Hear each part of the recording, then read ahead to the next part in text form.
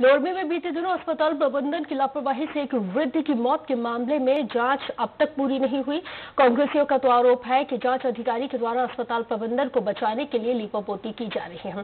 प्रदेश के स्वास्थ्य मंत्री टी एस सिंहदेव ने भी मुंगेली कलेक्टर को निष्पक्ष जाँच करने के बाद दोषियों के खिलाफ ठोस कार्यवाही का निर्देश दिया है। इसके बाद मामले की जाँच एसडीएम चित्रकांत चार्ली ठाकुर को सौंपी गई है और लेकिन चार दिन बाद भी मामला जहाँ का तहा ही बताया जाता है। ये ढिंगरमल जैन जी का मकान है ये। और ये ढिंगरमल जैन जो उम्र करीबन पचहत्तर छत्तीस साल के आसपास का है। जैसे जानकारी मिली कि सुबह साढ़े पाँच बजे के आसपास कचरा फेंकने के लिए थोड़ा बाहर निकला था। जैसे ही आया अंदर में तो अंदर में आते ही कुछ लोग जो है इसका जो है मर्डर कर दिए धागा हथियार से। और मर्डर करके जो है तो भाग गए वो। एक संदिग्ध रूप से मोबाइल मिला है।